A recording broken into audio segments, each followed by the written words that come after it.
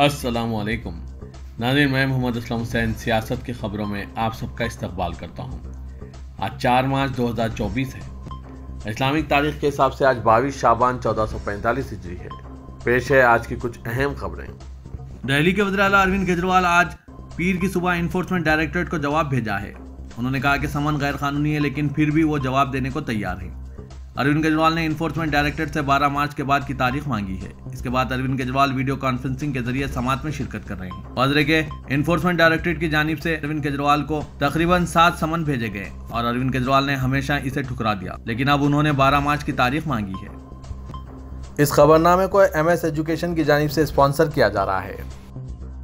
Meet Mohammad Ahmanuddin whose unwavering commitment has spanned an impressive 13 years of perfect attendance. Step into MS Creative School, where each day unfolds as a celebration of learning and unwavering dedication. Enrich your journey with us, where Eamon's exceptional dedication, recognized with the Special Regularity Award, serves as a guiding light towards excellence. Please click the link given in description for more details. किसान रहनुमा सरवन सिंह पांडर ने कहा कि पंजाब और हरियाणा के किसान यहीं रहेंगे। हम अपने ट्रैक्टरों और ट्रालियों के बगैर आगे नहीं बढ़ेंगे। हमने दिल्ली की तरफ़ मार्च करने का अपना फैसला नहीं बदला है। हम इस वक्त तक इंतज़ार करेंगे जब तक कि हुकूमत सड़कें दोबारा नहीं खोलती। हमने दूसरी रियासतों के किसानों से कहा है कि वो 6 मार्च को रेलवे बसों या किसी दूसरी गाड़ी का इस्तेमाल करते हुए दिल्ली की तरफ़ मार्च करें। वादरे के शंभू और खनवेड़ी सरहद पर एहतजाज करने वाले किसानों ने अब 6 मार्च को दिल्ली तक मार्च करने और 10 मार्च को मुल्क भर में चार घंटे तक रेलवे ट्रैक ब्लॉक करने का ऐलान किया है। सरवन सिंह बांडर ने कहा कि मुल्क भर के किसानों से कहा गया है कि वो ट्रैक्टर, ट्रालियों के बजाय ट्रेनों, बसों और दीगर जराये से छह मार्च तक दिल्ली पहुँच जाएँ। उन्होंने कहा कि पंजाब को छोड़कर दीगर रियासतों के किसान अपने अपने तरीके से दिल्ली पहुँचे, चाहे वो ट्रेन से आए या पैदल। वो सब दिल्ली की तरफ़ मार्च कर रहे हैं।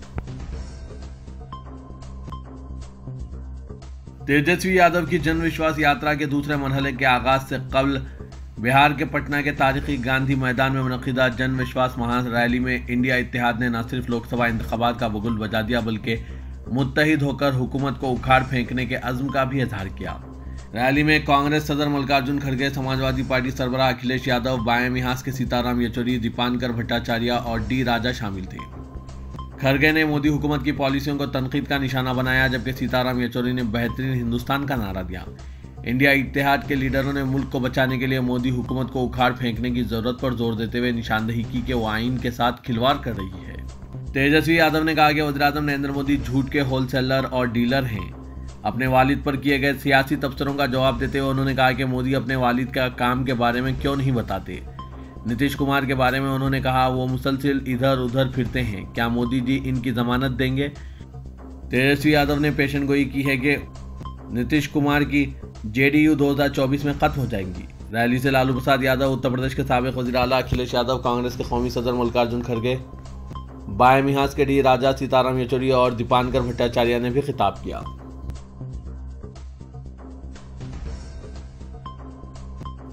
Uttar Pradesh Sunni central Waqf board civil जज जूनियर डिवीज़न की अदालत में निशानदेही की है कि लखनऊ की टीले वाली मस्जिद वक्फ बोर्ड में दर्ज है। इसलिए यह मुकदमा वक्फ ट्रिब्यूनल में चलना चाहिए। खालिफ फरीक, निरपेंद्र पांडे एडवोकेट ने इसकी मुखालिफत की। जस्टिस अभिषेक गुप्ता ने अदालत में वक्त से मुतालिक दस्तावेज़ पेश करने की हिदायत दी। अगली समात पंद्रह मार्च को होगी। वहीं मस्जिद के वकील एडवोकेट मुनवर सुल्तान व मस्जिद के मुतवली मौलाना सैयद फजल मंदान ने मामले में इन्हें एएसआई को नोटिस जारी किए जाने से इनकार किया और बताया कि यह मामूल की समात है।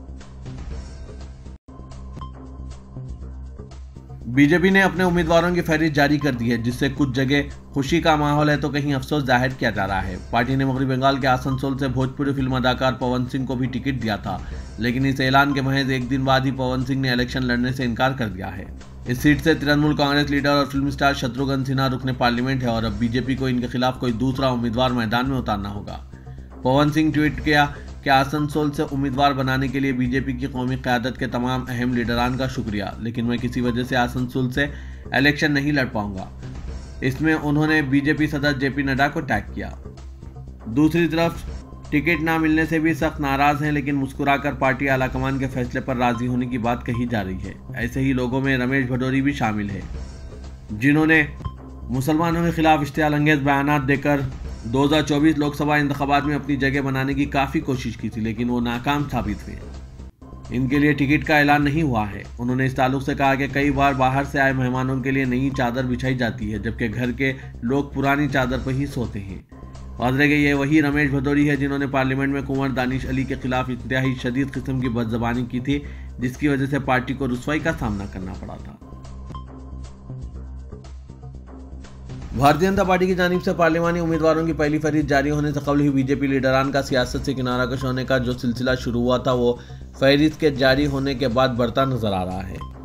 इसमें अब सबक वज़ीर सेहत डॉक्टर हर्षवर्धन का नाम भी जुड़ गया है, जिन्होंने सियासत से सुबुकदोश होकर अपनी जड़ों की जानी वापसी का इरादा ज़ाहिर किया है। उन्होंने एक तवील पोस्ट लिखकर बताया कि वो अवामी खदमात अंजाम देते रहेंगे, सिर्फ़ सियासत से किनारा कश हो रहे हैं।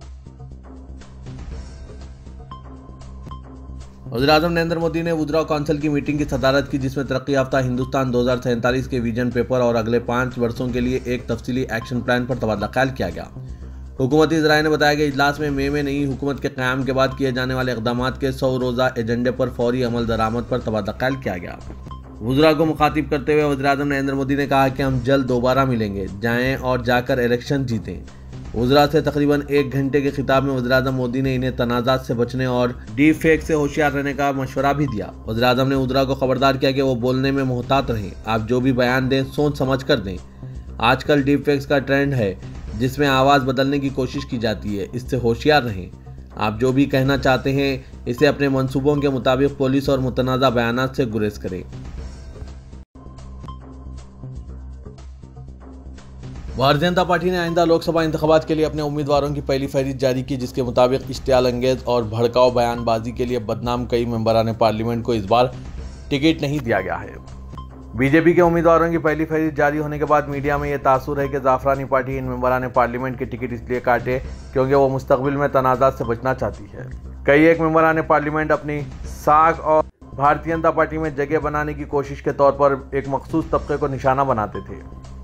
इश्तियाल अंगेजी करते थे, नफरत फैलाने की कोशिश करते थे, लेकिन कोई फ़ायदा नहीं पहुँचा है। और के भारतीय जनता पार्टी ने न सिर्फ़ भोपाल से अपनी मेंबर पार्लियामेंट साजी प्रज्ञा सिंह ठाकुर को टिकट नहीं दिया, बल्कि दिल्ली में रमेश भटोरी और प्रवेश वर्मा का भी टिकट काट दिया।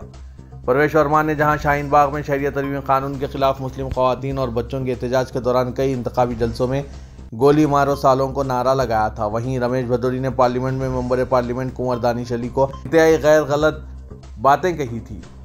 जेपी नड्डा ने इस बार ऐसे कई लीडरों को टिकट ना देने का फैसला किया है। नाजिन, भारतीय जनता पार्टी के इस अमल पर आपका क्या रद्द अमल है? कमेंट के ज़रिए ज़रूर बताइएगा।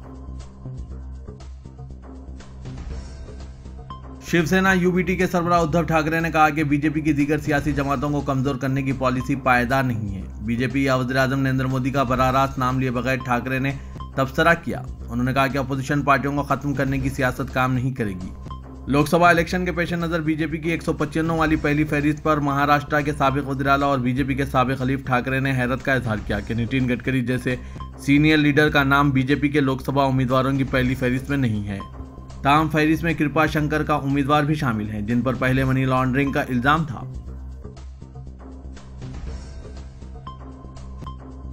महाराष्ट्र में एक बार फिर इंतजामिया के ज़रिए बुलडोजर का इस्तेमाल करने का मामला सामने आया है, जिसके दौरान एक मज़ार को मुनहदिम कर दिया गया। बताया जाता है कि बीजेपी एमएलए नीतीश राणे ने इंतजामिया को वार्निंग दी, जिसके बाद कार्रवाई की गई। बताया जा रहा है कि रात की तारीखी में नासिक मनमार चांदवा शाहरा पर बने एक मज़ार पर बुलडोजर कार्रवाई की गई। इससे कल मीरा रोड में भी एक मज़ार को निस्व नाबूद कर दिया गया था। दरअसल बीजेपी रुकने असम्बली नीतीश राणे ने असेंबली में कौमी शायरा पर बने इस मज़ार का मामला उठाया था और इसे मज़ार के नाम पर लैंड जिहाद से ताबीर किया था। उन्होंने मज़ार को ख़त्म करने का अल्टीमेटम भी दिया था, जिसका नतीजा ये हुआ कि इंतजामिया ने बुलडोजर से मज़ार को मुनहदिम कर दिया। तेलंगाना कांग्रेस ने लोकसभा इंतबात के लिए पार्टी उम्मीदवारों के नामों के इंतखाब पर तवज्जो मरकूज की है। पार्टी स्क्रीनिंग कमेटी ने 10 लोकसभा हलकों के लिए उम्मीदवारों के नामों को तकरीबन खतियत दे दी और मंजूरी के लिए हाईकमान को रवाना किया गया। पार्टी की स्क्रीनिंग कमेटी का इजलास चीफ मिनिस्टर रेवंत रेड्डी की क्यामगाह पर मुनद हुआ और तकरीबन दो घंटे तक जारी रहा। इजलास में दस हल्के जात के लिए उम्मीदवारों को खतियत दी गई है। बाकी सात हल्के जात के उम्मीदवारों का इंतखब हाईकमान पर छोड़ दिया गया। वजराला रेवंत रेड्डी ने बीसी और दीगर कमज़ोर तबकात को नशिस्तों में मुनासिब नुमाइंदगी का फैसला किया है। इस एतबार से नामों को खतियत दी गई। दस हल्के जात के लिए फीकस एक नाम तजवीज़ किया गया है, जबकि बाकी सात हल्के जात में दो या तीन दावेदार मौजूद हैं। स्क्रीनिंग कमेटी के इजलास में कमेटी के सदर नशीन Harish Chaudhary, Jignesh Mevani, Vishwajit AICC incharge Telangana, Deepa Das Munshi AICC secretary Rohit Chaudhary Mansoor Ali Khan Vishwanath deputy chief minister Bhatti Vikramarka Uttam Kumar Reddy मधु याचकी गौर हुकूमत के मुशीर वेणुगोपाल राव और दूसरों ने शिरकत की इजलास में जिन हल्के जात के लिए फीकर से एक नाम तजवीज़ किया गया इनमें वामशी चंद्र रेड्डी मुहबनगर से सबक रुकन असम्बली प्रवीण रेड्डी करीमनगर रुकन कौंसल जीवन रेड्डी निज़ामाबाद जी वंशी कृष्णा के फर्जन जी विवेक पेदापल्ली सबक एमपी सुरेश जहीराबाद बी राम मोहन या इनकी अहलिया श्रीदेवी सिकंदराबाद रघुवीर रेड्डी फर्जन जाना रेड्डी नलगुंडा सी एच किरण कुमार रेड्डी, भोंगिर बलराम नायक महबूबाबाद और सीता महिंदर रेड्डी चवेड़ला से शामिल हैं। इजलास में खम्भम लोकसभा हल्के से कांग्रेस कायद राहुल गांधी के मुकाबले के इम्कान का जायजा लिया गया।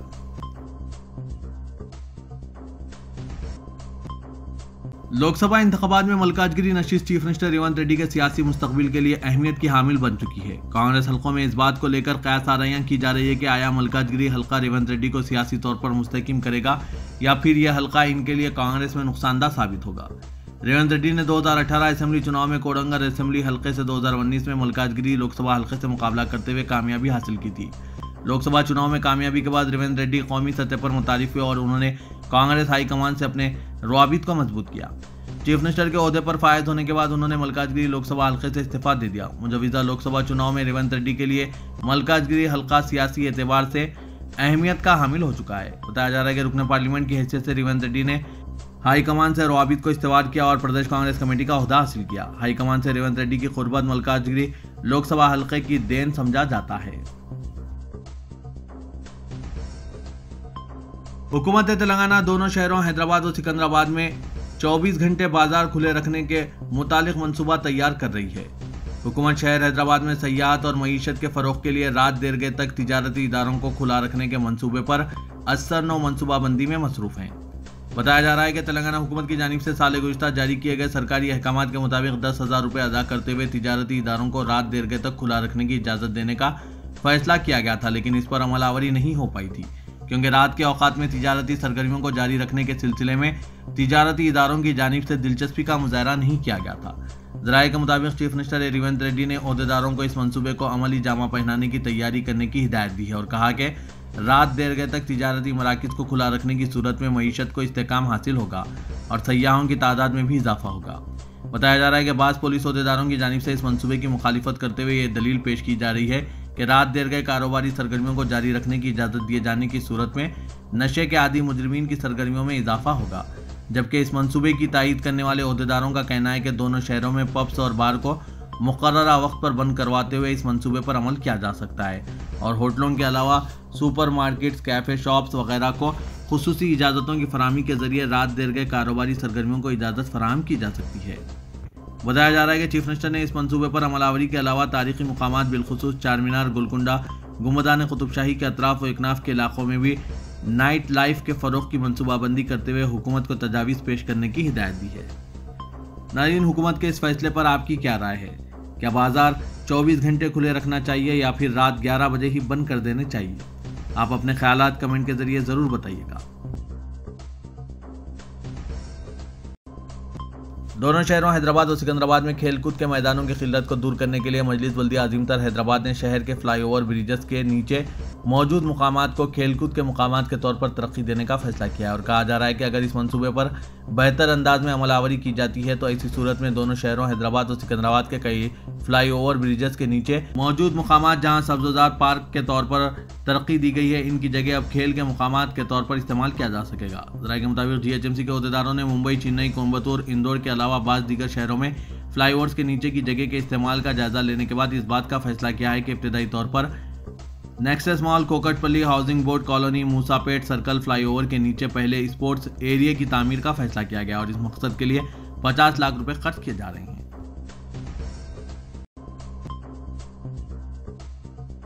पुराने शहर हैदराबाद में मेट्रो रेल के कामों का 7 मार्च को चीफ मिनिस्टर रेवंत रेड्डी संगे बुनियाद रखेंगे। जराये के मुताबिक चीफ मिनिस्टर के दौरे पुराने शहर की तैयारियाँ तेज़ी से जारी है और chief minister Falaknuma Fatima Nagar bus terminal के करीब महात्मा गांधी बस स्टैंड, इमली बंद फलकनुमा मेट्रो रेल के कामों का संगे बुनियाद रखने वाले हैं। इसके अलावा सबक चीफ मिनिस्टर व मुतहदा Andhra Pradesh, doctor Y S Rajasekhara Reddy के दौरे हुकूमत में काटेदन में स्पोर्ट कॉम्प्लेक्स का जो संज्ञा बुनियाद रखा गया था, इस स्पोर्ट कॉम्प्लेक्स का भी इफ्ताह अंजाम दे सकते हैं।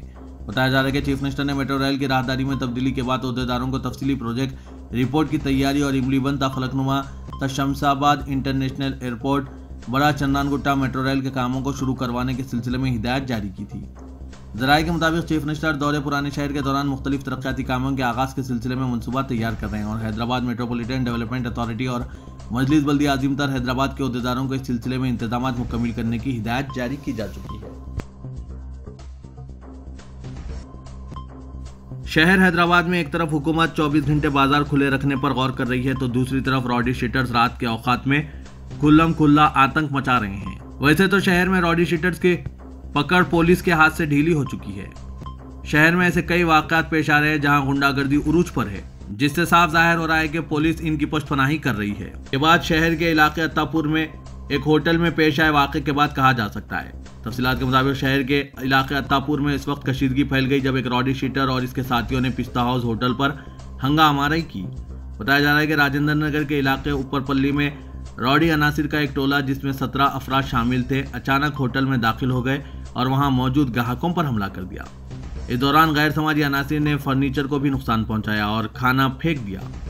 रॉडी शीटर्स के इस अचानक हमले से परेशान ग्राहक होटल से बाहर निकल पड़े, जहाँ पर इनकी गाड़ियों को भी नुकसान पहुँचाया गया। होटल इंतजामिया ने इस वाक़े पर अत्तापुर पुलिस से शिकायत दर्ज कराई। शहरी अब सुकून से रात के औकात में होटल में बैठकर खाना खाने से भी खासिर है, क्योंकि इस तरह के हमलों को रोकने में पुलिस नाकाम साबित हो रही है।